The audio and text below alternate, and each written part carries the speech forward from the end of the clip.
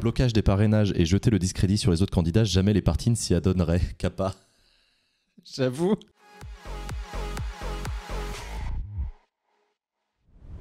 J'ai un premier article, la primaire populaire. Je vous rappelle que c'était hier soir la clôture des inscriptions pour voter à la primaire populaire. Euh, et la primaire populaire, ils ont euh, vécu un véritable boost euh, d'inscriptions puisque ils ont dépassé les 450 000 inscrits sur leur plateforme. C'est énorme, hein, c'est un très très gros chiffre. Ils ont bénéficié de deux boosts très importants en un mois en fait la primaire populaire.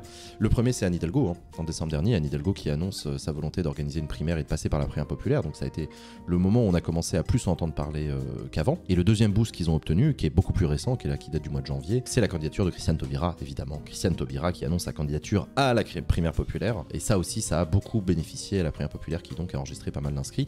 Est-ce que pour autant, les gens qui se sont inscrits à la primaire populaire sont tous des soutiens de Christiane Taubira? Je n'en sais rien, je ne sais pas je ne me risquerai surtout pas à faire des pronostics sur la primaire populaire parce que je ne sais pas du tout qui sont ces 460 000 personnes. Le passage dans Backseat les a pas aidés. Si tu as raison, troisième boost très important de la primaire populaire, euh, leur passage dans l'émission Backseat qui leur a permis donc de faire découvrir leur initiative à énormément de gens. Donc voilà, j'ai un article de Libération qui essaie de récap un petit peu où est-ce qu'on en est. Last minute, point gauche, la primaire populaire revendique 467 000 inscrits. La date limite pour s'inscrire était fixée à dimanche soir, donc hier soir. Les organisateurs se félicitent d'être la primaire qui rassemblera le plus de votants, loin devant les consultations écolo et LR, même si LR c'était pas vraiment une primaire ouverte, c'était un congrès. On avait en tête de rassembler plus de monde que le congrès LR pour devenir le premier processus de cette année présidentielle sous Covid. Samuel Gribowski, fondateur du mouvement Coexister et un des copilotes de l'initiative pour une primaire populaire, bombe le torse. Après près de 6 mois de campagne de parrainage citoyen et de phase d'inscription, la consultation est parvenue à rassembler 467 000 inscrits qui pourront donc se prononcer lors du vote prévu le 27 janvier à 10h au 30 à 17h. Samedi, ils étaient 376 000 personnes à s'être inscrits pour, pour participer à ce vote citoyen qui tente d'unifier la gauche quand le 18 janvier, il n'était que 280, 288 000. Les organisateurs de la prière populaire étaient donc déjà assurés, plusieurs jours avant la clôture de sa phase d'inscription lancée le 15 décembre, d'avoir un potentiel de votants plus grand que la primaire des écolos, 122 000, ou le congrès LR, 140 000. On voulait monter le plus haut possible parce qu'on sait que le nombre final aura un impact sur la légitimité de la primaire, explique Samuel Gribowski euh, à Libération. Évidemment, il n'a pas tort du tout. Tous les partis politiques qui font des primaires ou des processus de type primaire euh, savent que plus tu as de gens qui soutiennent ton processus ou qui votent, plus sa légitimité est forte, évidemment. Pour le coup, les insoumis n'ont pas choisi de faire une primaire, évidemment, il n'y a pas de primaire chez les insoumis, c'est Jean-Luc le, le candidat.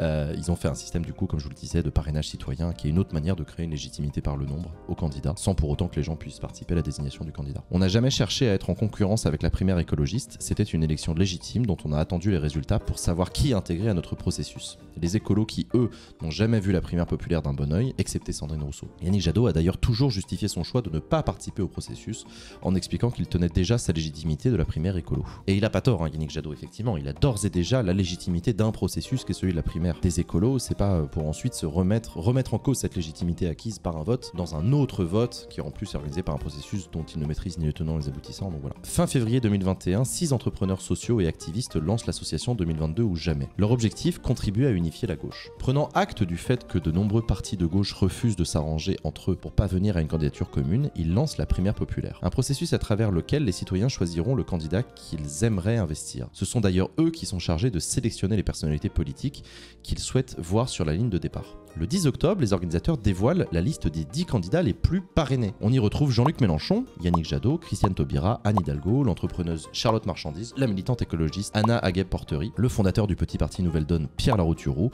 l'économiste Gaël Giraud et les députés insoumis Clémentine Autain et François Ruffin. La primaire populaire, elle vient pas de nulle part parce qu'en 2017, il y avait déjà eu un processus de primaire un peu similaire qui s'appelait la primaire.org, qui avait été créé en partie par les mêmes militants euh, que ceux qui ont créé la primaire populaire, qui était un système à peu près similaire, euh, avec un vote sur internet pour des candidatures et tout. Et en l'occurrence, c'était Charlotte Marchandise en 2017 qui avait été désignée candidate à l'élection présidentielle par ce processus sur internet qui s'appelait la prière.org. Ne souhaitant pas devenir président de la République, les trois derniers seront finalement retirés de la liste. Ils ne sont donc plus aujourd'hui que 7 sur la ligne de départ. Problème. Plusieurs personnalités de premier plan apparaissent dans cette liste finale alors qu'ils ont demandé à ne pas l'être. C'est notamment le cas de l'insoumis Jean-Luc Mélenchon et de Yannick Jadot qui n'ont jamais caché leur défiance vis-à-vis du processus. Laissez-moi tranquille, nous n'avons rien à voir avec ça, dit le premier quand le second qualifie la prière populaire de machine à perdre. Les deux candidats ont été rejoints il y a quelques jours dans le camp des Antilles par la candidate du PS, Anne Hidalgo, au terme d'un slalom donnant le tournis. C'est même pas un slalom, c'est qu'Anne Hidalgo, il y a un moment, elle a littéralement mis sa candidature en balance dans un processus de primaire populaire, en souhaitant évidemment que ce soit une vraie primaire, parce qu'on le verra après, en fait, on est passé d'un processus de primaire à un processus d'investiture, justement face au refus de Yannick Jadot. En fait, ce que voulait Anne Hidalgo, c'est que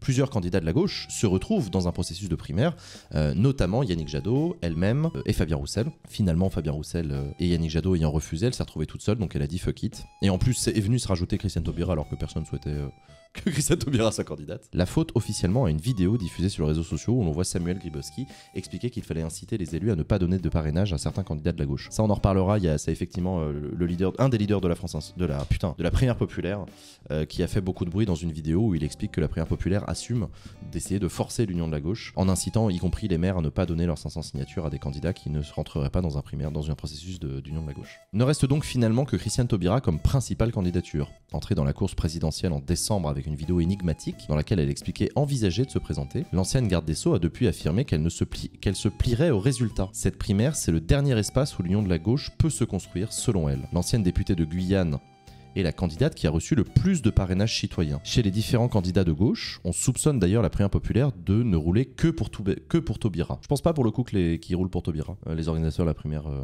de la primaire populaire. Je les connais un peu, ils sont ils sont pas trop du genre à rouler pour Taubira. De jeudi à dimanche prochain, la parole sera donc aux citoyens inscrits mais il ne leur sera pas demandé de choisir qui est à leurs yeux la personnalité la plus à même de les représenter. Le vote se fera au jugement majoritaire qui consiste à donner une mention à tous les candidats sur la ligne de départ. Ici, la question sera pour faire gagner l'écologie et la justice sociale à l'élection présidentielle, j'estime que chacune des personnalités serait, et là ils devront dire pour chacun des sept candidats s'ils considèrent qu'il est très bien, bien, assez bien, passable ou insuffisant. Le vainqueur sera celui qui aura le meilleur jugement global. C'est ça, le jugement majoritaire. Alors pour le coup, le, le processus de jugement majoritaire, c'est un truc qui est porté comme une innovation démocratique depuis des années par tout un tas de, collectifs, d'associations, de militants.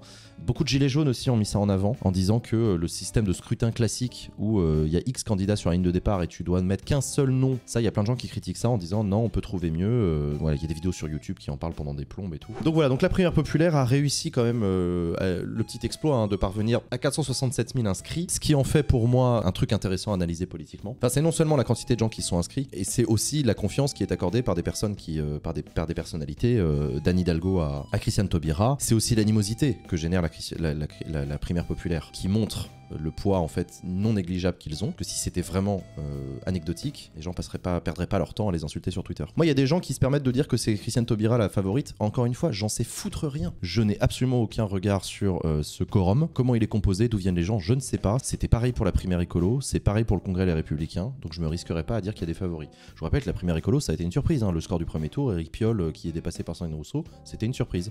Le Congrès Les Républicains, Eric Ciotti qui arrive au second tour, c'est une surprise. Pour moi, c'était évident le résultat LR résultat Europe Écologie mais évidemment, tu l'as dit après ça, pas avant. Après les résultats, Rétrospectivement, c'était sûr. L'élection de Mitterrand aussi, je l'avais prédit. Ouais, ouais, la chute du mur de Berlin aussi, moi je l'avais dit. Hein. Moi, le projet m'avait hype, mais le run final du forcing me déplaît. Et oui, c'est le caractère de forcing qui déplaît à, notamment à beaucoup de soutiens de candidats, que ce soit Jadot, Mélenchon, euh, même Hidalgo désormais. Euh, parce qu'en fait, la primaire populaire, leur volonté, c'était d'imposer l'union de la gauche, y compris contre les appareils. Rappelez-vous l'interview qu'on avait faite de, Mathilde Himer, qui est l'une des co-organisatrices de la primaire populaire sur le plateau de Backseat. Elle nous expliquait qu'en fait, le but c'était de dépasser les vieux appareils et les partis. Les partis sont des, sont, des machines à division. C'est au peuple de gauche, en gros, hein, se prendre en main et de désigner eux-mêmes, non seulement d'écrire leur programme, mais désigner eux-mêmes leurs propres candidats, avec une logique de dépassement des partis. C'est pas absurde qu'il y ait un achoppement entre les machines de partis et la machine de la prière populaire, parce que philosophiquement et même politiquement, il y a une opposition de fond, quoi. Le blocage des parrainages et jeter le discrédit sur les autres candidats, jamais les partis ne s'y adonneraient. Kappa. J'avoue. Mais vous rigolez, mais j'ai un copain qui est responsable dans un parti politique qui m'a dit Qu'est-ce que c'est que ces petites cons qui se permettent de bloquer des parrainages à la présidentielle? D'habitude, c'est nous qui le faisons, ça. Qu'est-ce que c'est que ces militants de gauche qui se mettent à avoir des pratiques de parti? C'est réservé aux partis, d'accord C'est comme les campagnes de haine sur internet. C'est coordonné par les partis. Non mais attends, si les gens se mettent à faire eux-mêmes ce que vous les partis avant, c'est on est fini.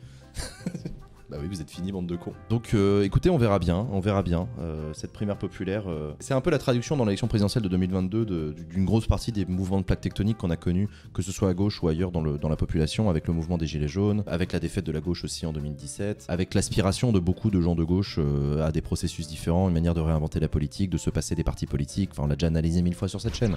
Le désamour des partis politiques pousse les gens à tenter d'imaginer d'autres manières de faire les choses, avec une logique de désintermédiation. C'est aussi le fruit euh, du dynamitage du paysage politique d'Emmanuel Macron avec sa logique de dépassement. Et vous retrouvez ça chez Zemmour, ce côté euh, candidat issu de la télévision qui, qui- se lance à la présidentielle quelques mois plus tôt, qu'on avait déjà vu avec Emmanuel Macron qui avait créé En Marche en un claquement de doigts en 2016 pour se présenter en 2017. Enfin voilà, il y a des mouvements de plaques tectoniques euh, importants dans le paysage politique. Vous voyez bien que les choses sont en train de bouger et la primaire populaire est l'un des avatars de ces mouvements-là, avec une tentative, une proposition de faire autre chose. Donc ça restera un moment marquant de cette élection de 2022. Il faudra, il faudra en tirer les leçons dans ses modalités d'organisation, dans sa, dans sa logique, sa manière de faire. Une des questions que je me pose, euh, c'est la primaire populaire, c'est bien sympa pour l'élection présidentielle, mais est-ce qu'il va y avoir une logique similaire pour les législatives? Parce que là, il y a aussi un risque que la gauche joue trop le jeu de la présidentialisation, alors que, alors que voilà, l'enjeu pour la gauche de 2022, ça va pas tant être de gagner l'élection présidentielle, ça, je pense que c'est cuit. Euh, ça va être de continuer à exister au Parlement. Oui, c'est prévu. Bon, bah voilà. Donc la primaire populaire est en train de réfléchir à ça.